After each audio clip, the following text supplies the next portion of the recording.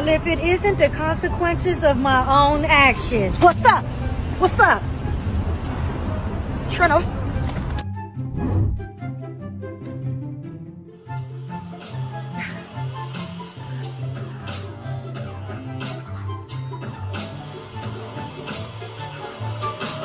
Am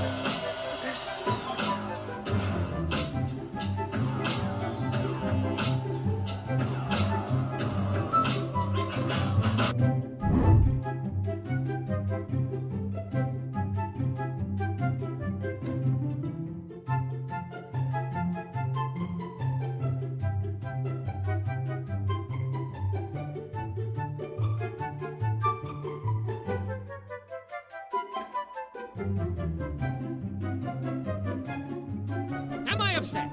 No, I am not. A little,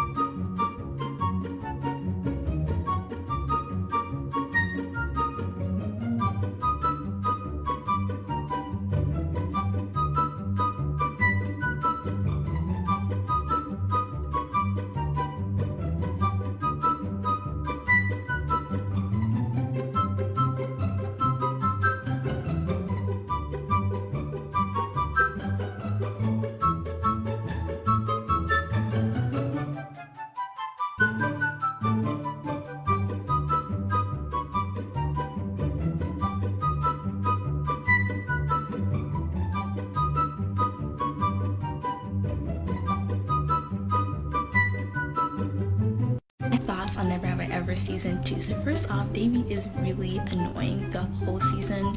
She starts hearing about this other Indian girl that comes to the school. I was like, girl, I know it was an accident, but still, you got jealous of her?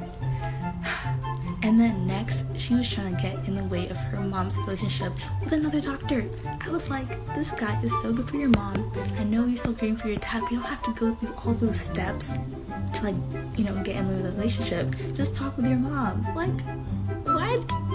And then another thing, she was dating both Paxton right here and Ben. I don't know why he's not pictured on here because he's a central character. Anyway, she was dating both of them at the same time. You need to decide. You need to stop this whole love triangle and just pick one. Right? That's what a normal person would do. But she's going a lot of grieving and she does a lot of really wild things. Even though maybe she means well in some of them, but still, she was getting my nerves.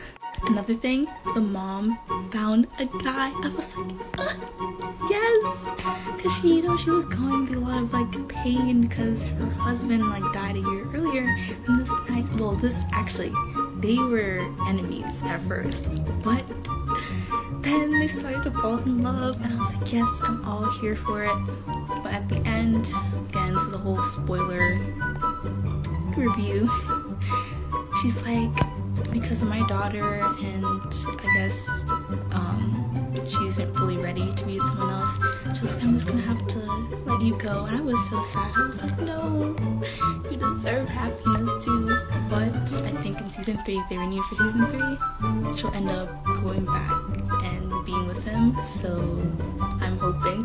Part of the show I didn't like was how um, Devi's cousin had another guy that she was potentially gonna be with. I was like, okay, so in season one you had this guy, and you didn't like him, so you went to another guy you're supposed to have arranged marriage with, and you like him. And then in this one, you are gonna be with Devi's teacher. I was like, um, we didn't really need all that. Like, we could have just dealt with your um your problems at work with the misogynistic boss.